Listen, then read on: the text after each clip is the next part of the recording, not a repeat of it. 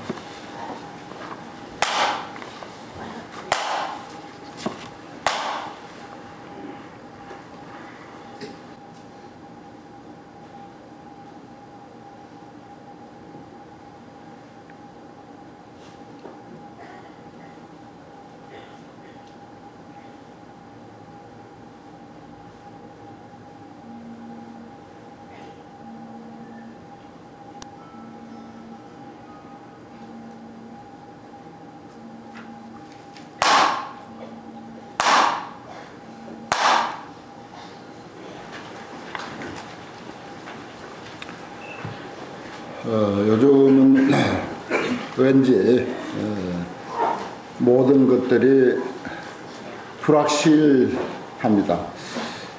어, 국내 사정이나 어, 국제 사정이나 어, 너무 어느 때보다도 특별히 불확실한 점이 많은 것 같습니다. 그래서 내일을 예측하지 못하는 그런 시기에 우리가 살고 있지 않나 그런 생각이 듭니다. 에, 불확실하다고 하는 것은 사람들 하여금 어, 불안하게 만듭니다. 어, 사실 불안합니다. 어, 물론 경제가 어려워서 불안한 점도 있지만은 그 어려운 상황들이 이제 앞으로 어떻게 에, 전개될 것인가 너무 불확실한 까닭에 그 불안은 더욱 가중됩니다. 어, 이러한 때 에, 우리 불자들은 에, 어떠한 마음가짐을 가지고 살아야 어, 부처님 제자다운 그런 의연한 모습을 보여줄 것인가.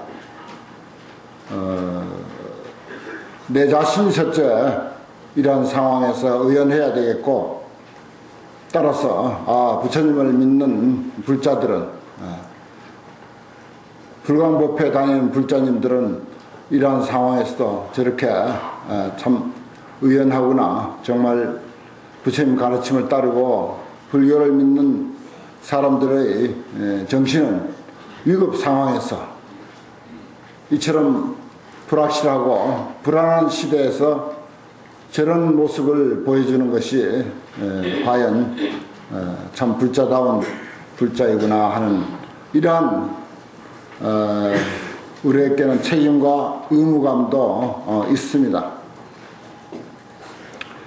오늘 어, 불광 출판사에서 어, 마침 저희 책 어, 법화경 강설 상하권이 출판이 돼서 그 인연으로 어, 오게 됐습니다. 일찍이 어, 광덕 큰 스님을 모시고 어, 보문사에서 어, 수학한 적도 있습니다. 또 어, 한 7, 8년 전에는 어, 아, 내년이 참 10주년이 되니까 상당히 벌써 여러 해가 됐네요. 한 15년쯤 된 것 같습니다. 한 15년쯤 전에는 어, 매월 일요일 한 번씩 내가 어, 법회를 담당한 적도 또 있었습니다. 어, 큰 스님은 불교 집안에서 어, 그 같은 문중으로서의 인연도 깊지만은 또 어려서 수학한 인연도 있고 또 이 불광 법회와 어, 그런 그 인연도 있습니다. 그리고 저희 책은 어, 거의 에, 불광 출판사에서 출판을 해줘서 어, 많은 불자님들에게 불교 이해에 큰 도움을 주고 있습니다. 이 자리를 빌어서 어, 마침 오늘 에, 법화경 출판한 기념법회니까 어, 심심한 감사를 드립니다. 우리 회주 스님 그리고 불광 출판사 관계자 여러분들 정말 에, 고맙습니다. 어, 부족한 글이지만 또 책을 잘 만들어줘서 어, 많은 사람들에게 불교 이해에 퍽 많은 도움을 주고 있는 것이 에, 사실입니다. 어, 뭔가 어, 이 불자로서 어, 이러한 시대에 어, 의연한 모습을 보이려면은 어, 정말 불교 정신으로 단단히 무장하지 아니하면은 안 된다 이런 생각이 들었습니다. 어, 정말 불교에는 수많은 가르침과 어, 수많은 진리와 또 수많은 사상이 있습니다. 그 가운데서 어, 정말 무엇으로서 내 마음의 흔들림이 없는 어, 그런 아주 튼튼한 의지처가 될 것인가 뭐 이런 뜻에서 어, 새삼스럽게 예, 법화경을 오늘 말씀드리고자 합니다. 오늘 우리 주보에 간략히 법화경에 대해서 소개를 하면서 서두에 이런 말을 썼습니다. 예컨대 나무꾼이 나무를 한줌 짊어지고 길을 가다가 길에서 황금을 만났다. 그 나무꾼은 곧바로 나무를 버리고 황금을 한줌 짊어지고 돌아왔다. 그 값은 나무값보다 수만 배나 더 많다 이거죠. 이와 같이 불교에 있어서도 불완전한 가르침을 버리고 진실한 가르침인 법화경의 길로 바로 들어온 것은 하루의 공덕과 수만 년의 공덕으로 비교된다. 그래서 육조 해능 스님은 나무꾼의 길을 버리고 불법의 길로 들어선 것이며 우리 불광법회 가족들 그리고 우리 모든 불자님들은 삿된 가르침을 버리고 참다운 성인의 가르침에 귀한 것이다. 일단 우리가 어, 이러한 말을 듣고 어, 안도할 수 있습니다. 에, 분명히 어떤 위급 상황이 닥치더라도 또 우리 가정이 어, 여러 가지 상황에 의해서 비록 좀 흔들리더라도 어, 정말 바람직한 부처님의 정신을 내가 어, 나의 삶으로 만들 때 정말 당당하고 또 의연하고 조금도 동요함이 없는 그런 자세를 어, 보여야 하는데 거기다 더 우리가 부처님이 예언했듯이 어, 열반에 드시면서 또 제자들에게 특별히 당부했듯이 요의경을 의지하고 불요의경은 의지하지 말라. 말하자면 완전한 가르침을 의지하고 불완전한 가르침은 의지하지 말라 그랬습니다. 왜 이런 말이 있는가 하면은 에, 부처님께서는 그때 그때 상황에 따라서 그 사람의 경우와 그 사람의 사정과 또 그대 그 시대의 상황에 맞춰서 방편의 교설이 너무 많습니다. 그 방편의 교설이라고 하는 것은 그 일에만 해당되는 가르침입니다. 또 그 사람에게만 해당되는 가르침이에요. 또 그 시대에만 해당되는 가르침입니다. 그 민족에게만 해당되는 가르침입니다. 그런 것이 너무 많다 보니까 부처님께서 열반에 드시면서 그런 어, 어느 한 사람, 어느 한 시대, 어느 한 사건에만 국한된 그런 가르침에는 의지하지 말라 그랬어요. 그리고 누구에게든지 어느 민족, 어느 국가, 어느 사회에서든지 다 적용된 진리의 가르침만을 의지하라라고 이렇게 유언하셨습니다. 열반경에서. 우리 불자들은 늘 그러한 말씀을 떠올려야 되는 거죠. 그래서 어, 광덕 큰 스님께서 어, 순수 불교 운동을 이 불광법회를 통해서 펼쳐서 사실은 포교의 어, 개척자가 되시고 또 그 포교는 아무나 할 수 있습니다만은 정법으로서 포교한다는 것은 아무나 할 수 있는 것이 아닙니다. 그래서 큰 스님께서는 불광운동이라고 하는 정법 포교의 기치를 내걸고 어, 정말 불완전한 가르침, 불여의한 가르침은 배제해버리고 여의 가르침, 정말 완전한 가르침을 펼치기 위해서 많은 노력을 기울여서 오늘 이 순간까지 여기에 이른 것입니다. 우리 불광 가족들은 이 점에 대해서 어, 늘 상기하고 그 올곧은 정법 포교의 정신을 어, 놓쳐서는 안 된다 하는 이런 말씀도 아울러 드리고자 합니다.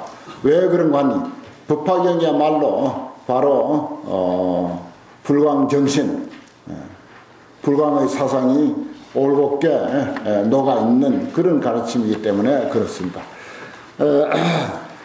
법화경은 그 내용이 어떻게 보면은 어, 모든 그동안의 다양한 진리의 말씀을 종합으로 어, 엮어놓은 종합한 그런 내용이기도 하면서 또 어, 모든 사람에게 하나의 길로 가고 있다. 이미 우리는 하나의 길로 가고 있다. 그러나 방편의 가르침을 통해서 우리는 수많은 옆길을 헤매게 되었다라고 하는 이러한 그 솔직한 고백을 한 어, 내용이기도 합니다. 어, 제목부터 말씀드리면은 법화경은 구체적인 이름은 묘법 연화경 이렇게 말하죠. 연꽃처럼 아름답고 미묘한 진리의 가르침이다 이렇게 이제 표현할 수가 있습니다. 그 연꽃의 특징은 우리가 흔히 에, 알고 있는 것처럼 철염 상정 그러죠. 철염 상정 항상 더러운 데 있지만은 그러나 늘 깨끗하다. 어, 철염 상정. 철염은 우리 현실입니다. 우리 모든 사람들의 삶입니다. 어쩔 수 없어요. 이 육신을 가지고 세상에 처해서 살면서 별의별 부정과 부패와 영광과 오욕이 뒤섞여 있는 그런 현실인데 그러나 그 내면에는 우리가 늘 청정한 위대한 어, 사람의 지고한 가치, 사람의 본질 그것이 늘 내재해 있다 하는 그런 뜻에서 어, 철염상정 이렇게 표현하고 또 다른 의미는 화과 동시 연꽃의 특징이 그렇습니다. 꽃과 열매가 동시에 있습니다. 대개 다른 열매들은 꽃이 피어서 그 꽃이 에, 다 이제 끝나갈 무렵에 열매를 맺고 그래서 이제 열매가 비로소 익습니다만은 이 연꽃이라고 하는 것은 처음에 꽃이 피기 전에 그 꽃 몽우리 속에 이미 열매가 들어 있습니다. 그 연이라고 할 때는 사실 연꽃을 말하는 게 아닙니다. 연꽃을 말할 때는 분명히 연화라고까지 해야 돼요. 그런데 우리 통칭 연화 이렇게 말합니다. 왜 그러냐? 연이라고 하는 것은 연실입니다. 연실. 연시죠. 열매. 근데 그 연실이 동시에 꽃하고 동시에 출발합니다. 그래서 연화라고 하는 거예요. 연과 화가 동시다. 그런 뜻에서 꽃 이름부터 그렇습니다. 그걸 이제 불교적인 안목에서 보면은 화과 동시 그래요. 꽃과 열매가 동시에 존재한다. 이건 이제 왜 부처님께서 어, 묘보 연화경을 연화경이라고 하는 그런 그 연꽃에 비유를 해서 묘법 아름다운 진리의 가르침을 펼쳤는가?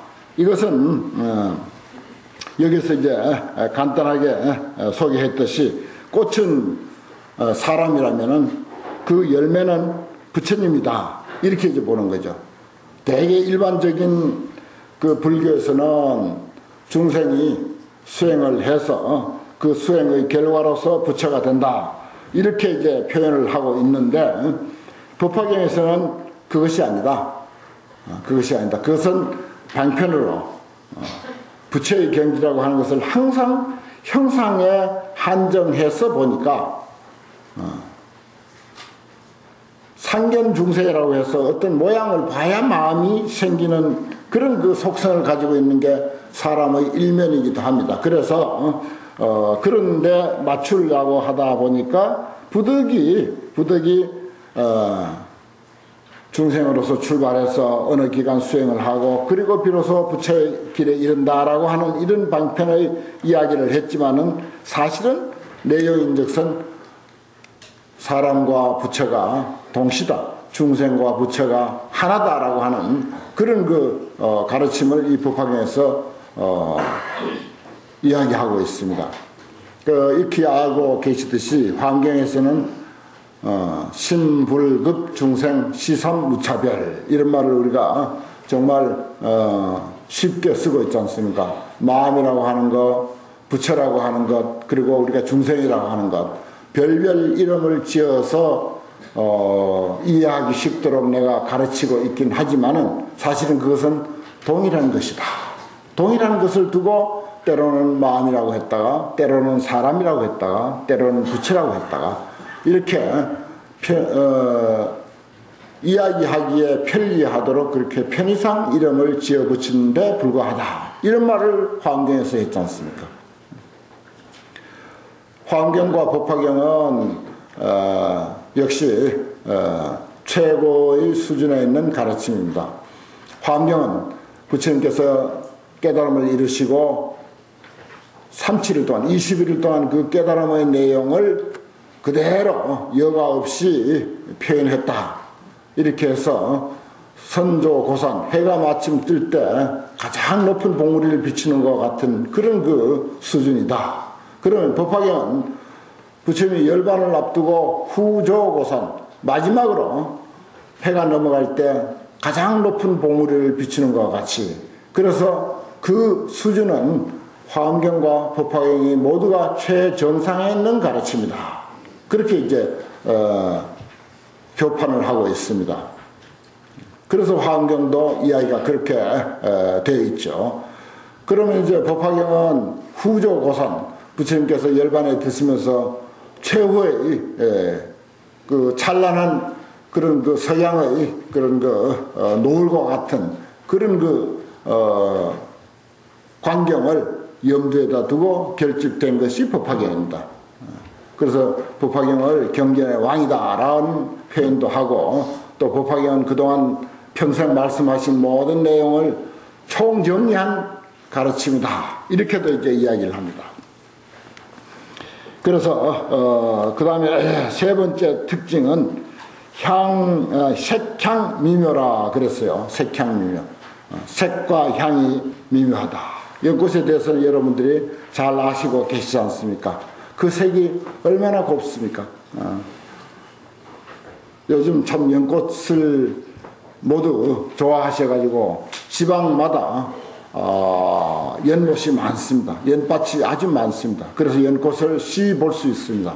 그래서 희- 백년도 있고 홍년도 있고 어, 여러 가지 에, 모양의 그 연꽃을 볼 수가 있습니다. 가서 보면은 참 향기가 그윽해요. 어.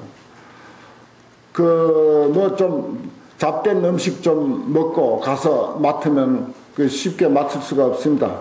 가서 빈속으로 가서 맡아야 돼요. 어. 연꽃을 보러 갈 때는 꼭 속을 비우고 다 보고 나서 식사를 하시도록 그렇게 해야 됩니다. 마음을 비워야 연꽃의 의미가 마음에 다가온다. 속을 비워야 연꽃 향기가 내 코에 에, 들어온다는 것이죠. 그 색도 어떻게 보면 참 단순하죠.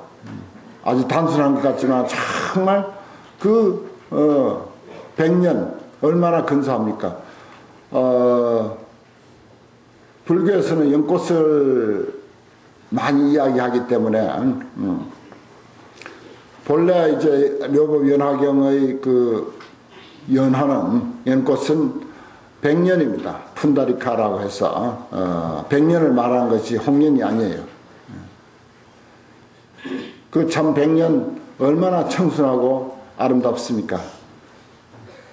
그게 궁극적으로 무엇을 의미하는가 여기에 메모를 내가 해놨죠. 사람 인자를 썼습니다. 색향미며 무엇이 그렇게 향기롭고 아름다운가? 사람밖에 이 세상에 더 아름다운 것이 없다. 어. 사람이야말로 참으로 기기묘묘한 존재고 참으로 위대하고 어, 지극히 고귀하고 그리고 어, 아름답기 그지없는 존재가 사람이다.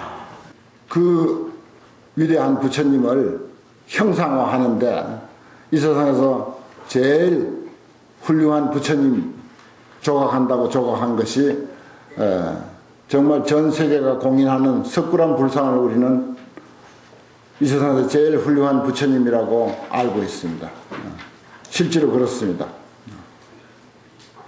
그러나 석굴암 부처님은 더 이상 웃을 줄 모릅니다. 석굴암 부처님은 더 이상 환희할 줄도 모릅니다. 그런데 우리는 웃을 줄도 알고 울 줄도 알고 환희할 줄도 알아요. 얼마나 그 색깔과 그 향기가 미묘 불가사의합니까? 이러한 사실을 깨우쳐 주는 것이 부처님의 가르침이고 그것이 올곧게 녹아 있는 것이 또한 법화경입니다. 석굴암 부처님은 당신 앞에 놓아둔 돈을 누가 어, 훔쳐가도 그거 말릴 줄 모릅니다. 신고할 줄도 모릅니다. 혹여 법당에 불이 나도 불 끌 줄 모릅니다. 119에 신고도 못해요.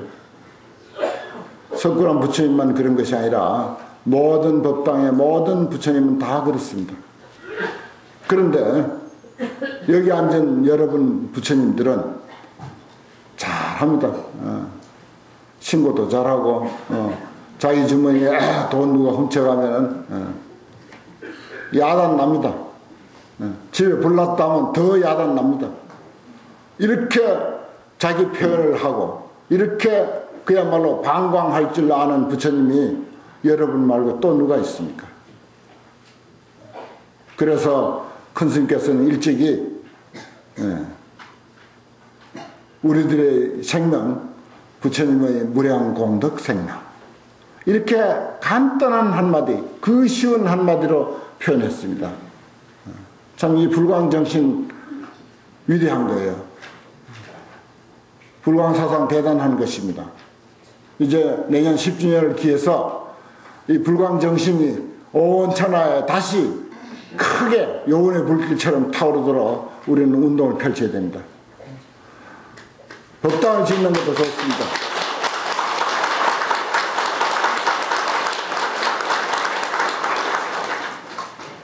법당을 짓는 불사 필요합니다. 하지만 법당 곳곳에 어디든지 있습니다. 그러나 이런 부처님의 어, 사상의 정수가 녹아 있는 이 불광 사상은 그렇게 흔치 않습니다. 잘 없습니다. 어. 우리 불, 불광 가족들은 여기에 큰 자부심과 긍지를 가져야 됩니다. 표현했듯이 우리 인간의 지극히 고귀한 어, 그런 그 인간의 내면의 위대성을 깊이 깊이 이해하시고 깨달으시고 그것을 널리 예, 펼친 그 법회가 이 불광 법회인 것입니다.